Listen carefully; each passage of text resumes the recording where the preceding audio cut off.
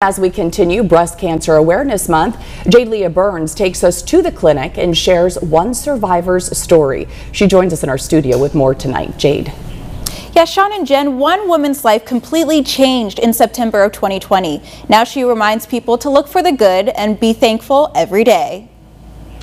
Said the words that oh, I'll never forget. He told me that I had breast cancer. And, um, whew, it was it was very hard.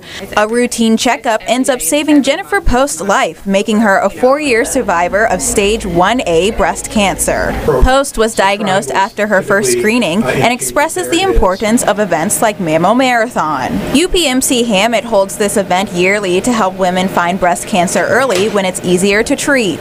With the um, advent of widespread screening mammography, which began in the 1980s, um, the risk of uh, dying from breast cancer fell 40%. The recommendation to begin screenings is age 40 and to continue them every year if you're of average risk. If you're higher risk, which can be determined by self-evaluation, Dr. Kaminsky says they could start scanning with MRI at 25. Whether it's a new lump or bump, any skin changes, dimpling of the skin, redness of the skin, any change in the nipple, um, to bring that to the attention of your primary care doctor. While it may seem intimidating, healthcare professionals say the first step is scheduling a screening and they can walk you through the process from there. If an abnormality is found on that, um, we do something that's called a callback. So the patient gets a letter, their physician uh, is informed as well, and we give the patient a phone call and let them know that you know we saw something that could potentially be uh, suspicious. Dr. Kaminsky guided Post through her treatments. She explains there's nothing like the support that she received from both the imaging center and her loved ones. If you're ever diagnosed with breast cancer, it's not a death sentence.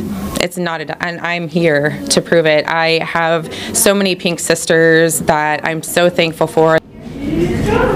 Dr. Kaminsky also says that if you've never had a screening before, it's never too late to start. Jen. All right, Jade Leah Burns in the studio. Thank you, Jade.